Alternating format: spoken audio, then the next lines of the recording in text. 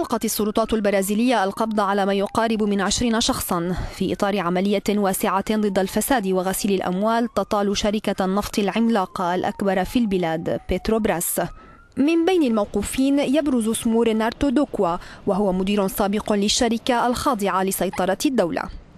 مندوب الشرطة الاتحادية في البرازيل يقول العديد من العقود التي يجري التحقيق بشأنها تم إبرامها في اتفاقات سابقة مع مجموعات تحمل صفات العصابات وتتمتع بنظام يخولها تحويل الأموال إلى مسؤولين سياسيين وشخصيات عامة.